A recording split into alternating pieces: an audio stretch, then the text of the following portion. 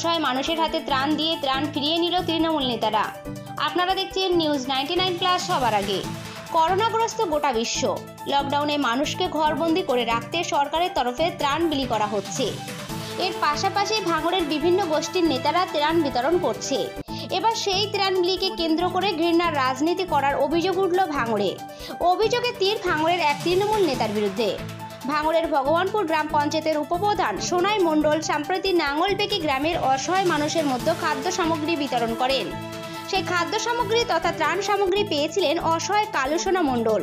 কিন্তু কয়েক ঘণ্টার মধ্যে তৃণমূল নেতা তথা উপপ্রধান সোনাই মণ্ডল দলবল পাঠিয়ে সেই খাদ্য সামগ্রী বাড়ি থেকে তুলে নিয়ে যায়। এই ঘটনায় ব্যতীত কালু সোনা মণ্ডল। ভাঙড়ের বিধায়ক তথা মন্ত্রী পুত্র জেলা পরিষদ সদস্য মোস্তাক আহমেদের দ্বারস্থ হন। বৃহস্পতিবার হাতিশালা জেলা পরিষদ কার্যালয়ে ওই যুবকের অসহায়তার কথা শোনেন মোস্তাক আহমেদ। এর পাশাপাশি তার হাতে খাদ্য সামগ্রী তুলে দেন সঙ্গে ত্রিপুলও দেন।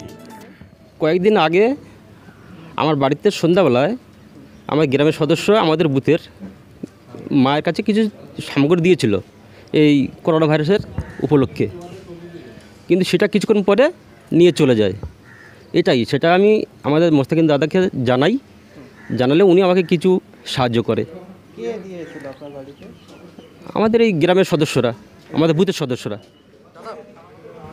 একজন ব্যক্তি যার বাড়িতে খাদ্য সামগ্রী পৌঁছে দিয়েছিল তৃণমূলের পক্ষ থেকে আবার ফেরত নিয়ে গিয়েছে। আচ্ছা। কি বলবেন বিষয়টা? আপনার কাছে সাহায্য চেয়েছে আপনি দিয়েছেন। বিষয়টা হলো আমাদের যেহেতু এখন লকডাউন চলছে রাজ্যে তো এখন সবার তো একটা ফুড ক্রাইসিস যাচ্ছে তো আমাদের ভাঙড়ের সর্বস্তরের নেতারা কম বেশি সবাই রিলিফ বিতরণ করছে। তো উনি আমার কাছে আজকের একটু এসছে যেহেতু আজকের হাতিশালা আমার একটা ইফতারের সামগ্রী বিতরণ করেছিলাম। একটু আগে আমার সঙ্গে দেখা করল করে ওনার ব্যাপারটা বলল যে ওনাকে নাকি যেহেতু নাঙ্গলমেকি বুথে বাড়ি হ্যাঁ? কি মণ্ডল বাড়ি তোমার নাম? কালু সোনা মণ্ডল ওনার নাম। উনি এসে জানায় যে ওনাকে এরম ওনার মাকে মানে জিনিসপত্র দিয়েছিল মানে রিলিফের চাল আলু ফালু সেগুলো পরবর্তীকালে আবার ওনার কাছ থেকে নিয়ে নেওয়া হয়েছে। এবং উনি আরও একটু অভিযোগ করেছে, যেহেতু ওনাদের সামনে দেখবেন যেহেতু আমাদের ঝড় বৃষ্টি হয়েছে, তাতে আমাদের ভাঁড় এরিয়াতে লোকের ঘরবাড়ি ক্ষতিগ্রস্ত হয়েছে। সেই জন্য উনি একটা তেরপলের আমাকে আবেদন করেছিল। আমি ওনাকে আমার পক্ষতে একটা তেরপল দিয়েছি চাল, আলু দিয়েছি, আর একটা পায়জামা, পাঞ্জাবি দিয়েছি হ্যাঁ?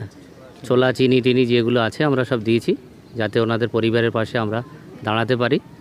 আর ওনাদের বুথের মেম্বার মনে হচ্ছে যে সোনাই সোনাই কি মণ্ডল? সোনাই মণ্ডল যে উপপ্রধান আছে ওই বুথের। তো তিনি মনে দিয়েছিলেন আবার কি কারণবশত ওনাদের কাছ থেকে নিয়ে নিয়েছে। সেটা সেই জন্য আমার কাছে মানে অভিযোগ করার পরে আমি আমার পক্ষ থেকে ওনার পাশে আমি দাঁড়িয়েছি।